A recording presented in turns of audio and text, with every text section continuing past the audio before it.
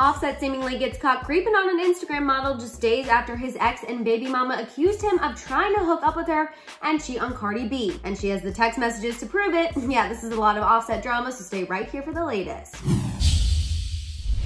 How's it going guys? I'm Madison Hill. I know you're ready for this Offset and Cardi B tea, but first please give this video a share, double check you're subscribed, and don't forget that notification bell. All right, first let's kick things off with Offset and his alleged Instagram model situation. Recently, an Instagram model whose name is Mida Brea posted on her story that Offset was looking at her IG stories and then shortly after he started following her. After she shared these posts on her Instagram, of course, some people on the internet got a hold of them and started accusing Offset of creeping, something that now Mida herself has denied as she took to her Instagram again, this time to defend.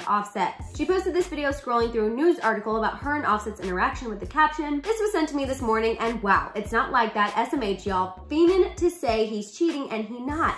He can't even view a fan without y'all thinking negative of him and I'm not even 20. TF. Now, while typically something like this wouldn't even be on everyone's radar due to the fact this IG model denied any shenanigans, however, given the fact that one of Offset's baby mamas just recently outed him for trying to hook up with her while he was with Cardi, now that's a different story. Recently, Offset's baby mama Shya L'Amour put him on blast when she shared a text exchange between the two of them from 2018 shortly after he met Cardi. You can see that he keeps asking her to meet up so he can have her one last time. She captioned the receipt saying, I was going to refrain from posting, but him and his hoe too disrespectful, and I've been trying to be cordial and empathetic. I found out same time the world that, that he was married and he's been cut off since. Stop playing with my name.